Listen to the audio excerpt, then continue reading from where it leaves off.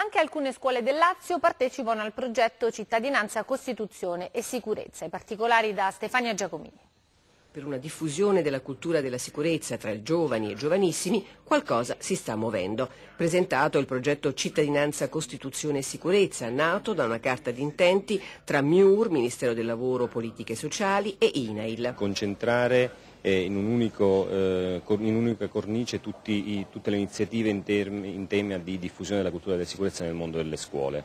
Eh, la finalità è quella di ehm, diffondere in modo preventivo la cultura della sicurezza a partire dalla scuola primaria affinché il fenomeno delle morti bianchi possa trovare un'adeguata risposta in termini appunto di prevenzione e non di eh, sanzione successiva. L'INEL investe risorse ingenti in eh, salute e sicurezza, eh, risorse per favorire presso le imprese investimenti in salute e sicurezza. Ricordo che eh, sono stati appena stanziati 205 milioni a questo riguardo per stimolare questi investimenti e investe anche in politiche di promozione all'interno della scuola. Stanziati 5 milioni di euro per 48 progetti presentati da reti e consorsi di scuole di ogni grado in Italia. Nel Lazio previsti 860 mila euro per sette progetti presentati da un istituto scolastico di Bagnoregio e nella capitale da altri sei.